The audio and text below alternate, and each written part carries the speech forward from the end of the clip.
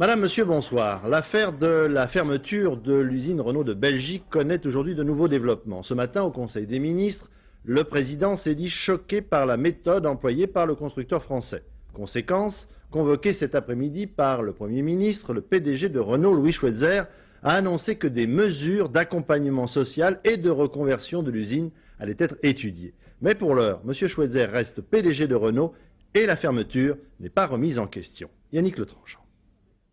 Rendez-vous à Matignon pour une explication, une explication sérieuse. Louis Schweitzer, le patron de Renault, n'a pas le sourire facile, encore moins aujourd'hui. Il le sait, en arrivant dans le bureau du Premier ministre, il va se faire tenser. La fermeture de l'usine belge de Villevorde et la tournure que prend cette affaire sont au menu des discussions et Alain Juppé entend bien marquer le coup.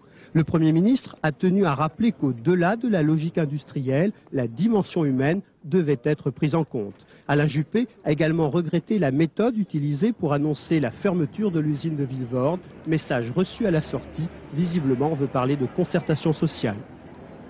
J'ai indiqué au Premier ministre que Renault souhaitait engager sans tarder une concertation avec les représentants du personnel de Villevorde sur les mesures d'accompagnement et sur les possibilités de reconversion de l'usine.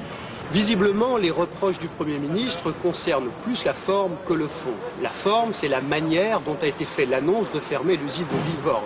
Le fond, c'est la situation économique et financière du groupe Renault, de mauvais résultats dans un marché en crise. La situation de l'entreprise et la nécessité de restructurer étaient connues du gouvernement depuis la mi-janvier. Même si Renault est une entreprise privée, l'État y est toujours actionnaire à hauteur de 46%. Ce soir, on cherche véritablement l'apaisement, on parle de concertation sociale, même si la décision de fermer l'usine de Villevorde en Belgique est maintenue.